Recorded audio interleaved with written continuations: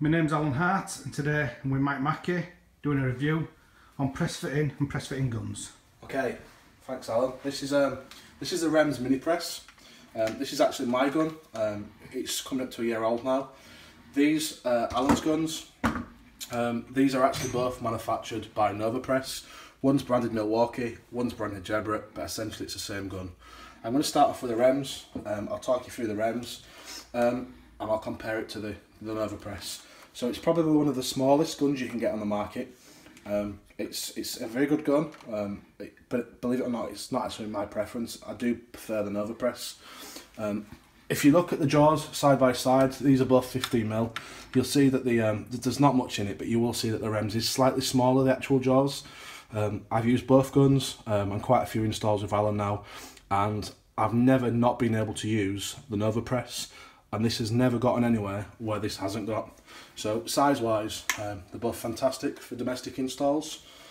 Um, one thing about the Rems um, is that we can get the M10 stud cutters, which is great.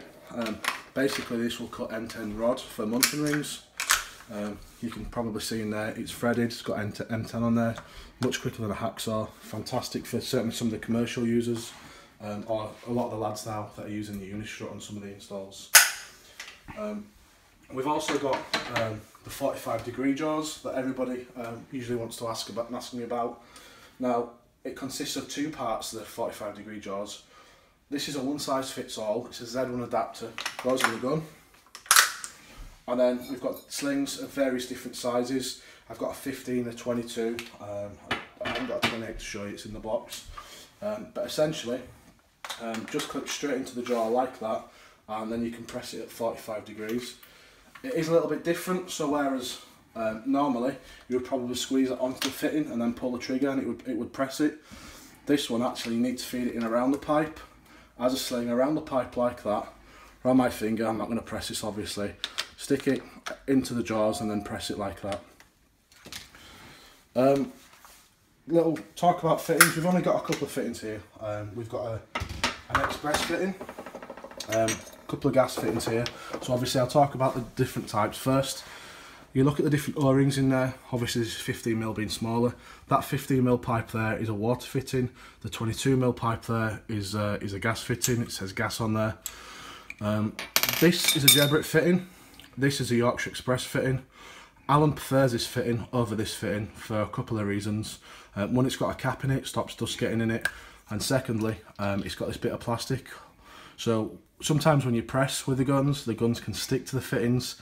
Um, Allen likes the Geberit ones because they'll never stick to this fitting as long as that bit of plastic's there. I don't think it's a massive issue because you can just put something called dry slide on your jaws and it stops them from sticking.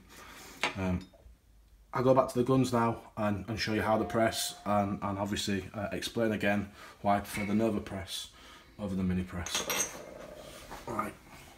So we're going to press 22mm gas pipe onto 22mm pipe. So technically what you're supposed to do is you've got a depth marker which you're supposed to line up, make a little mark, push the fitting on like that and then press it.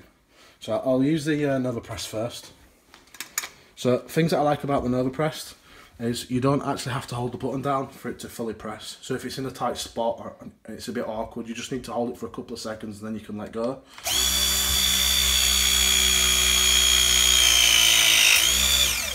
So that's it, that's the cycle done. As you can see on there, um, you just take a little bit of Geberit mark off there, the, the little bit of plastic. And the Rems mini press, it's a little bit more noisy, maybe not as smooth. This is the Yorkshire, Yorkshire fitting.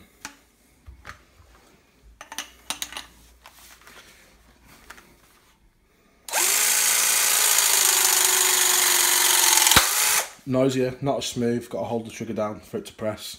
It's somewhat nothing. They're both really good guns. Um, this has got a few little advantages over this. Um, this you can use loads of different jaws, so you can get the TH ones, which are good for Henco MLCP, Unidelta MLCP, U-Profile, which are good for uh, Uponor and Unipipe. Um, these are all M jaws at the moment, M profile jaws, which are good for uh, obviously Geberit, Yorkshire Express, which we've both shown you here, Sanha, Empress, um, and, and yeah, I, uh, I love it. As Geberit would say, don't stress press. And uh, if you want my opinion, I bought this gun. I bought this gun. I spent my own money on this. But if I could go back in time and swap this gun, maybe purchase a different one, it probably wouldn't be a Rems Mini Press if I'm honest. It probably would be the Novopress, just for the few little advantages that I've explained. Um, but yeah, there you go. Thank you.